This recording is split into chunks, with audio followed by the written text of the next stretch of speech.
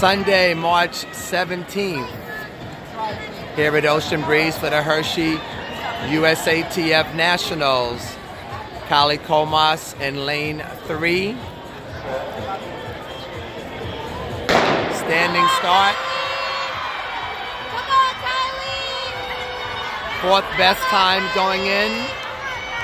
Kylie also your runner-up. 2069 in the 800 yesterday.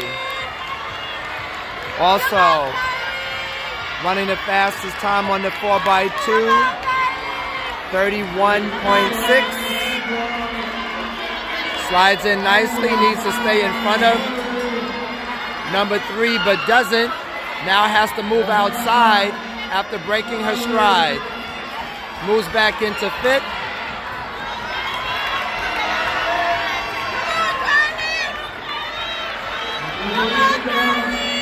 Kylie back in fifth place.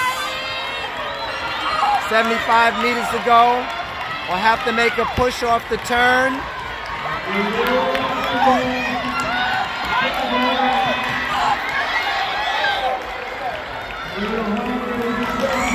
Close finish. Kylie with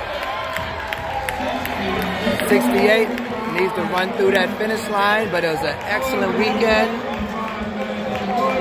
and a busy one for Kylie.